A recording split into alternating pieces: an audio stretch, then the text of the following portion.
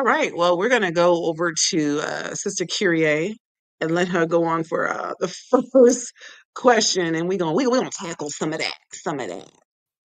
All right. Well, our first question today says When the detective told Malia that Chris had been using a fake name, I was stunned. Whose ID do you think he has been using? Who knows? And who knows um, if Chris has been on how long he's been on the prowl. You know, he probably cycles out fake IDs every few weeks, few days. You know, so it's just whoever he was able to get his hands on. And then um, they also talked about um, in the story where he was stealing people's credit card information. So he could have stole somebody's ID, you know, at the barista. So when you're out here living life on the land, uh, on the lam like he is, you know, you get what you can get. You can get it. So who knows? We know it was a black man's ID though.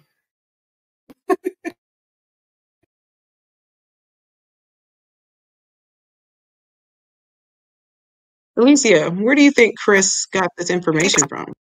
Information. You know, um, when I read the question, of course, my mind, I, re, I, I watch a lot of murder shows and documentaries, so my mind went somewhere like dark. I was like, you know, because this fool was crazy. Maybe it was one of his victims, you know, as Mel Vick, he got buried under somebody's shed somewhere, you know, got it out of the.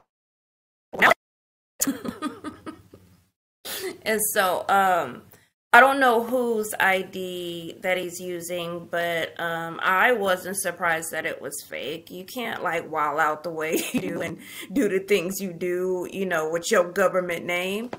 Yeah, you only get that bold, especially if you know they can't trace you. And something he's been doing for a while, apparently. Like Malia, and nobody knows that yet, but you know, um, they found out that he's been harassing all type of people, and then yeah, he does have a past and yeah. So I wasn't shocked, but I don't know whose idea. I'm just thinking maybe uh one of them. Maybe he snapped. You know, somebody probably beat his tail and he went back and decided to get back, and that person is under the shed, and now he's Chris. Brandon don't turned into Chris. that's that's where we're at. I really love that analogy. You're talking about some uh, now they up underneath the shed, like, and he stole their ID. Bella, who do you think Chris is impersonating? Honestly, it's so scary to say because we really don't know. Um, but the thing is, if he's all in her world the same way that Chan is, he has to know about Chan. So that's kind of like who I'm leaning toward. But you know, Chris ain't got just like that. So you know, he can't be Chan baby.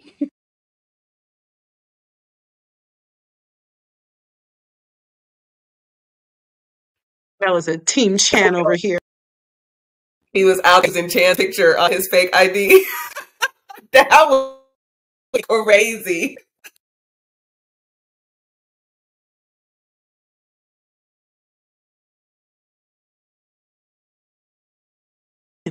Hmm. All right, so who do I think that? I, I think Alicia said it best. It it really could be one of um, Chris's victims. I think because the way I like to think about things is always like because at first I was thinking, you know what? He's a barista, right? He he works at the co- he, look, he works at the university. He comes across a lot of people's information. Like they said that they caught him stealing people's information so that he could like drain their bank accounts.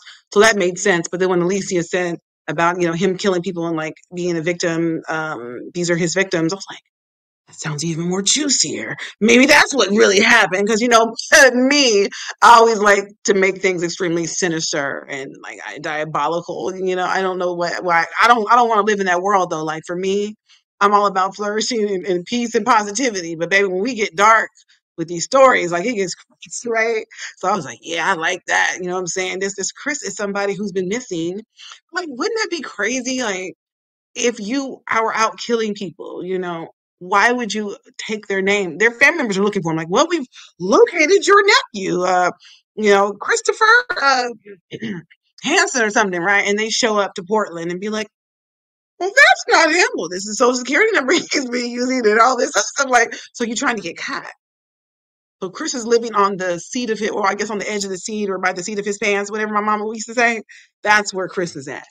You know, so I, I don't know. It could be a victim. It could just, I mean, everybody's a victim at this point, but it could be somebody who's deceased, or it could be from the university, could be a faculty, could uh, member, could be one of the students. We don't know, but we're gonna find a little bit more about Chris as the story progresses. Next question is yours, Alicia. There we go.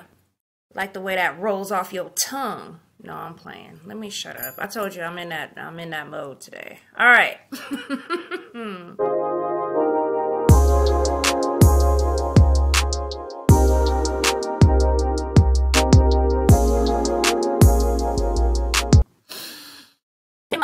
called and cussed Malia and Eva out made me wonder why he couldn't stand up to those men who beat his ass the same way. Lord Jesus, I know it. Um well actually what's funny is he did try to fight back and still got whooped. So um even if he did try to stand up to him, they probably would have stomped him. Um and then he be in uh he'll be in even a worse condition than, you know, what he was. But, you know. He's lucky he just got his well, it was his arm twisted back, right? And then some soup in his face and yeah, yeah. That was a good little combo there.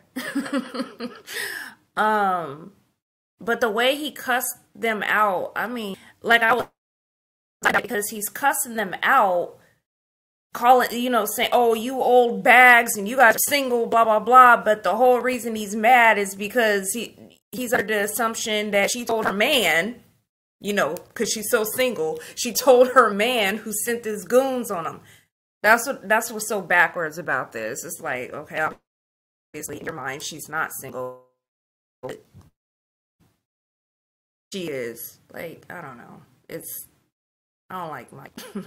I don't like him. So I don't know why he couldn't stand. Uh, well, no, like I said, he tried. He tried, and he just he he he was enough. So they they handled them.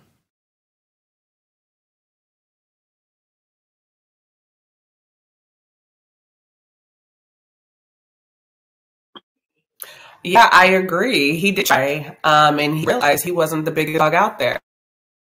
So he earned his cowardly state, his spoiled mama boy state, and did what most boy do. They called a female, cry, and cut them out because life isn't better. Because can't be better because they will take an accountability and go the hell make something of your life. And you say you are. Mike, Prince Michael. Prince Michael. Um, sorry, I'm still changing diapers here. um, but you have a lot of men that unfortunately they don't they can't take accountability with other men. They can only do it with women. And that's because a lot of men are intimidated by other men. And it's sad to say that the only people that they choose to provoke are women. And the thing is, we actually have a couple members in this family that do the same thing. Like I said, they will never ever go to the man or the, you know, a stronger person to try to fight back with. They always have to find somebody weaker than them in their mind. So it's unfortunate, but it actually happens often.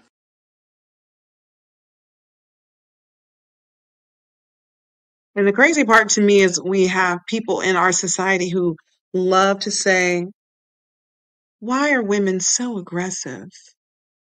Why are they aggressive? Well, when you deal with um, people like Prince Michael, and I am going to is how they piggyback on what you're saying because as soon as you speak up for yourself, you stand up for yourself, you you say what you're going to allow, what you're not going to allow. You're mean, you're bitter, uh, you deserve to be single, and I I'm- just got tired of it. I started giving people that work, and look at me now. you know what I mean? Sometimes you really do just have to stand up for yourself because people think, you know, because you're a woman, you're supposed to be soft and you're supposed to be, you know, feminine. The thing is, you can be all that and still not getting taken advantage of. Baby, facts. You can be soft and you can be feminine, but I would say there's a time and a place for all things. And life requires balance. I can't be soft and be a Bambi when I have a wolf chasing after me with a machete, okay? All right. I'm gonna need to get up and I'm gonna need to get me some Bruce Lee in my spirit and I'm gonna need to go do me some kung fu fighting. Like these kicks as fast as lightning. Don't don't play with me, right? So no, um the way Mike acted was just really, I mean, it's I think it stirred up such a reaction because it's like you got all that work for these two women, you calling them, cussing them out. You're the DA, right? So why don't you use all of your DA superhero powers and and find Chan's phone number? I'm I'm pretty sure his I'm pretty sure if you type in Chan Kong Oregon, all his information is gonna come up. You know what I mean? And so yeah, you probably end up calling one of his organizations or send an email to customer service. I know, say something, but you called Malia no, because you put him up to this. Yeah, because that sounds like something Malia would do, huh? Malia doesn't even want to be around you. She, just, she she can't even stand to see your skin. You stank like she don't want you, right? Malia wants to forget that you ever happened. So like, why would she call for these people to beat you up, give you all that work? That was God's plan. You just you ha- Mike has to accept the fact that, that him and God are at odds right now. He needs to accept the, that karma bit him, and God was like, "Go ahead and do your thug thizzle." Like this ain't had nothing to do with this woman. Because if Chan would have been like, "You want me to have my goons?" You know what I'm saying? Run up on him, give him some of that heat. Malia would have been like, "No." Like, why would you? She would have been like, "No." Why would you want to do that? Like, leave him alone. I'm I'm trying to help him to forget about me. I'm not trying to stir the pot. Malia didn't want him he got messed up because that was God's plan. Like Alicia said a couple uh, episodes back, he got that face dunked. that soup, okay? Dunked, slammed, dunked in the soup, okay? And um, while he was talking crazy to Malia and Eva, Eva cause, went on social media because Mike is saying this is all over social social media. Everybody knows that I've got attacked. And so Eva finds the video, and then Malia had to throw in his face. That's why you got dunked in that soup, okay? Okay what needed to happen happened um but it wasn't malia's fault it wasn't it wasn't what she did so yeah people want to talk about you know why he didn't offer that heat to those men because he can't he's weak. He's a coward okay? Cowards don't stand up to other strong people. They think that a female is going to be weak and a female is going to sit there and take it. There are some women out here who are deadly dangerous and you go you you go around and find out my guy